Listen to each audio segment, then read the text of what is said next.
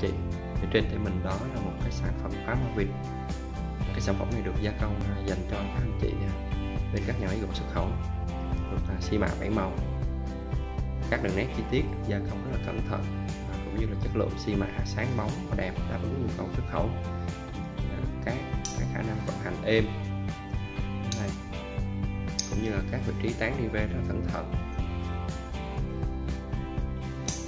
Phía sau có một cái vị trí dùng để bắt vít ở thế này. Trên này thì cái vị trí móc được hàng.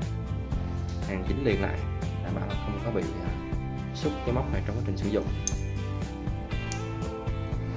Đây là cái sản phẩm lớn. Ngoài sản phẩm này còn các sản phẩm kích thước nhỏ hơn thì chị có thể liên hệ trực tiếp với Vina Hardware hoặc các đại lý để nắm rõ thêm chi tiết về màu sắc cũng như kích thước.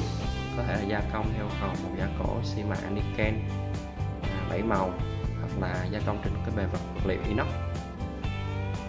Thì kích thước của sản phẩm này là có bề ngang của cái thân khóa hoa việt là tương đương với 19 tổng thể chiều dài là tương đương với là 55 mm thế này. Vận hành rất là ổn định, các vị trí tán IV rất là tốt. Do đó là các anh chị sử dụng cho các thị trường lắp ráp, thị trường được gỗ xuất khẩu hoàn toàn có thể yên tâm về chất lượng sản phẩm. Thì mọi chi tiết anh thể mọi chi tiết chị có thể liên hệ trực tiếp với Vina Hardware hoặc là các à, đại lý phân phối làm rõ thêm.